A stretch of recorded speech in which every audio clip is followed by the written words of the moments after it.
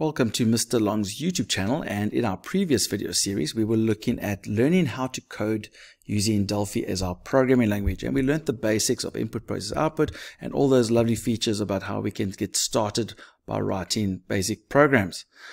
Now we're going to continue with some more Delphi basics. It's still learning some new stuff um, but it's some extra stuff that you can add to your programs, extra features and it's still in the realms of learning the basics of programming. So we're going to focus on div, mod, and constants in this video.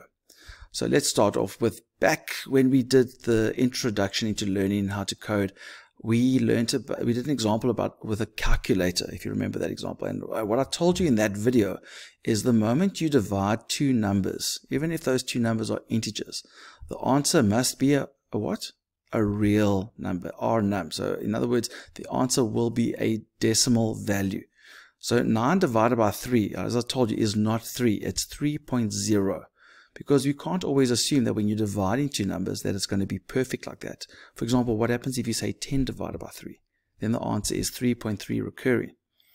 So that's why it's very important to take note that the when you divide by two numbers, you must store that answer into a real value. Now, what happens if we don't actually care about the decimal part? We just want the integer value. I just want to take those values and store them into an integer. So store them into integer values. Now that is possible. Another scenario could be you want to know how many times does 3 go into 9 or how many times does 3 go into 10 and you're not worried about what's left over. For that we're going to use div. Now the way div works is wherever you see your slash where you said 9 divided by 3 or 10 divided by 3 instead of divide you use div instead.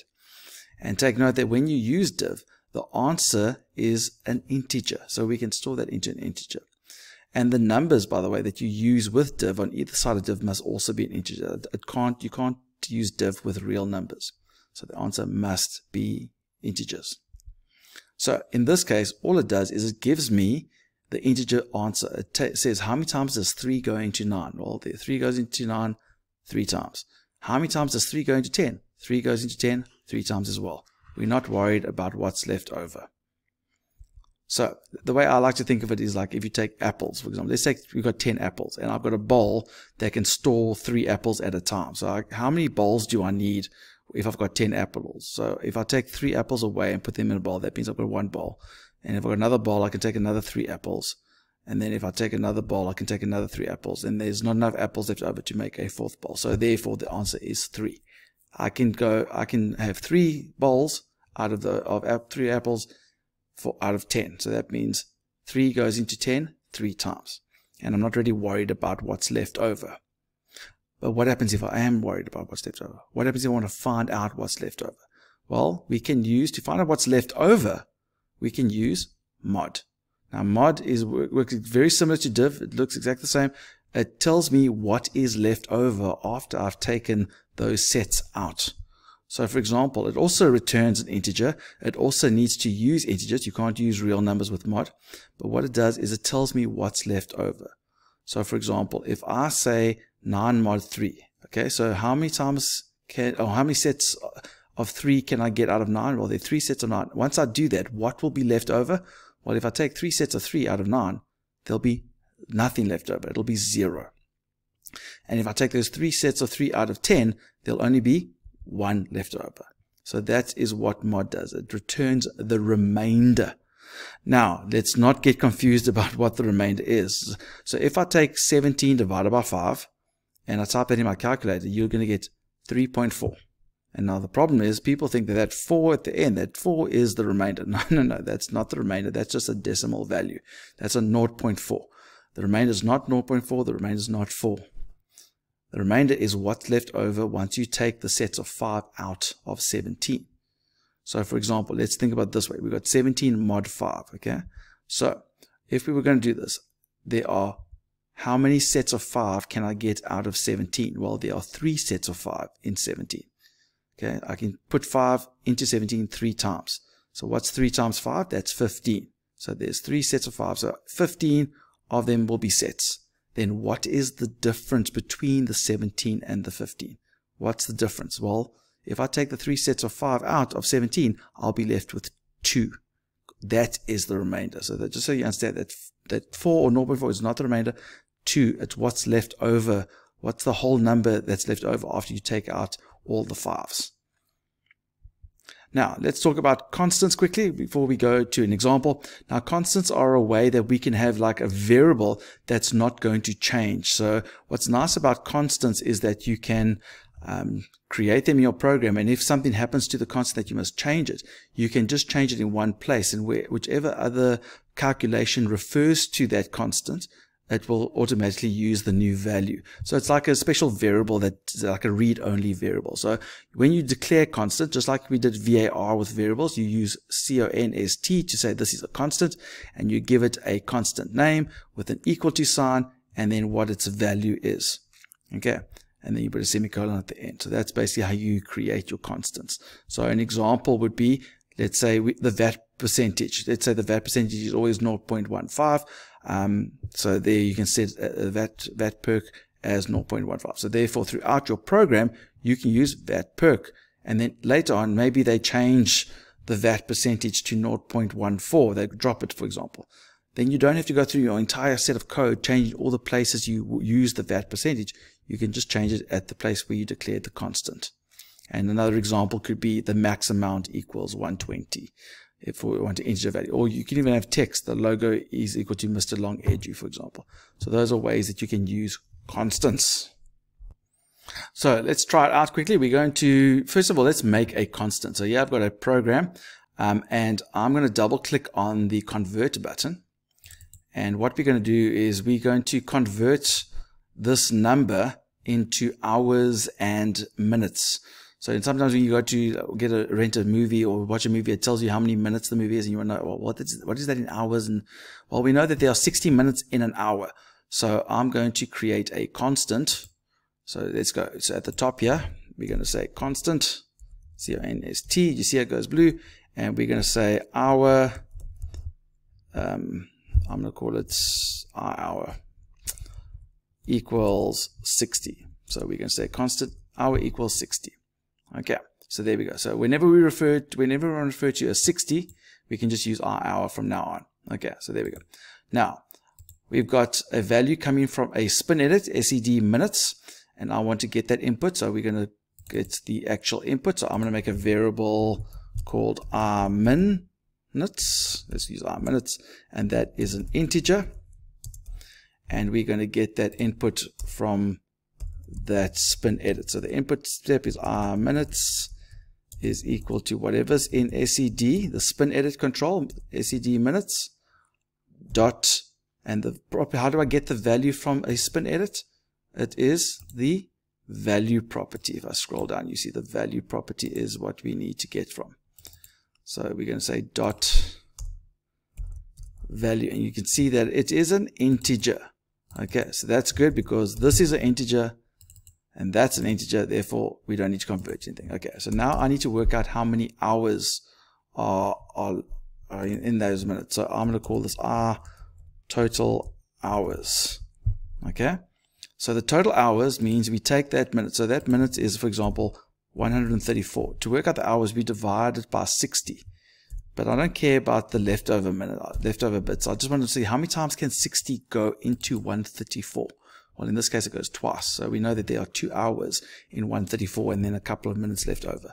So our total hours is equal to whatever the input is, our minutes.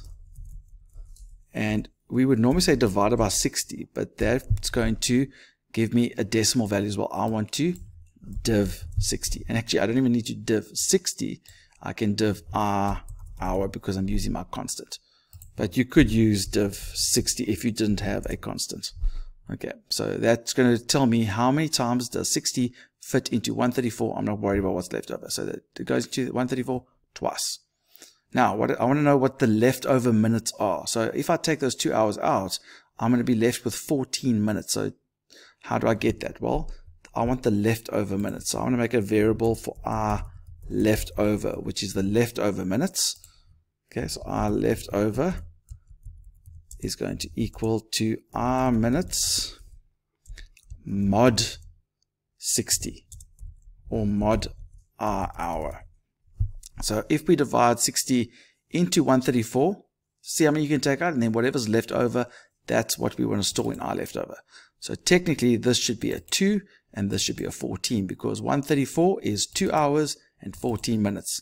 So then we can just use a show message and say uh, 2, so our total hours plus, you can say hours, let's do this, it could be 1 hour, um, and we're going to then at the new line at the bottom here say oh click away oh yeah plus r left over plus the word minutes.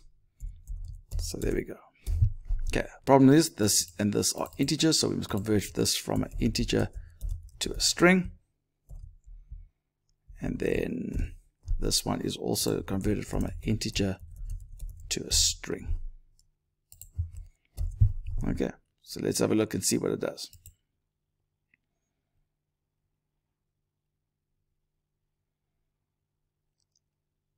Okay, so 1 hour and 34 convert to 1 hour, uh, 2 hours and 14 minutes, which is what we thought it was. So if I do 120 or 120, that's exactly 2 hours, 2 hours and 0 minutes. And there we go. And if I make like 259 it's 4 hours and 19 minutes. So there we go. It's converting quite nicely. Here's another quick example using div and mod. Here we've got an amount. Let's say that we've got 28 Rand or dollars, and you want to get the coins. If there's a 5 Rand coin, a 2 Rand coin, and a 1 Rand coin. So let's, it's Rands for this case, because we're dealing with Rands for South African Rands. So I want to know how many 5 Rand coins. If I give you 28 Rand, or if you need to give me 28 Rand, that'll obviously be how many fives fit into 28. Well, five files fit into 28, and then we'll be left over with three Rand, and that, that means there'll be one two Rand coin and one one Rand coin, if that makes sense. So we should see a five, one, one in that case. So how do we work that out? So we get the input, which is get the value from the spin edit called amount dot value, and I've declared variables here. So to work out the amount, to work out how many five Rand coins we need, so we're going to say R5 is equal to whatever the amount is, and div, div 5. How many times can 5 go into my amount? So that's going to be that. Now, the whatever's left over, I must then work out the 2's and the 1's from that. So I can't use that. I actually need a variable for the leftover. So the leftover. So the leftover, after I've taken all those 5's out, I can't div the amount by 28, by 2, because then I'm going to get 5, 5 rand coins, and then like 14 um, two rand coins, that means I'm getting like almost double the amount of money, which is not what we want to do, especially if you are giving the money away. So for R2, no, not R2, for R left over, we still we need to work out what's left over first. We take R amount and mod gives me what's left over after I take all the fives. So if this amount was 28, how many times can 5 go into 28? Well, there are 5 sets of 5, so it goes in 5 times. So there will be five five rand coins. And then what will be left over after we take out those five five five rand coins, which will be 25 and 28, the difference is three. Three will be left over. So the twos is equal to whatever's left over and how many two rand coins I can get out of that. In other words, div two. So take all the twos out of that, whatever's left over, and that will give me what's left over in, in two rand coins, basically. And then whatever's left over after that, once I've taken all the two rand coins, will obviously only be ones. So I can actually go ah, R1 is equal to whatever's left over mod 2. Once I've taken those twos out, whatever's left over will obviously be one rand coins, and that's what I'll use to work out how many one rand coins there are.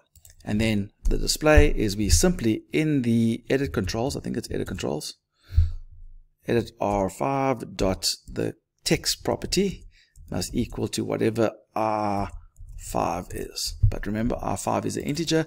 That is a string, so we want to convert it from an integer to a string. And we need to do that for all of the other values. So I've done the output for us. So remind us, take the 5. Take, how many times does 5 go into 28? 5 times. Now, 5 times 5 is 25. What's the difference between that 25 and the 28? Whatever's left over is the 3. So then three, how many twos can go into three? Well, there's only one two that can go into three. And then what is left over after I've taken all those twos out of three? Well, what's left over is the one. Okay, so there we go. Let's try it out. And there we go, five, one, one. So if I give five, five rand coins, two, uh, one two rand coin, and one one rand coin, I'll be able to get the amount of 28 rand. Well done for reaching to the end of this video. Go to our YouTube channel, click on that subscribe button, leave a like, leave a comment. We'd love for you to support our channel. And remember, don't do it the long way. Do it the Mr. Long way.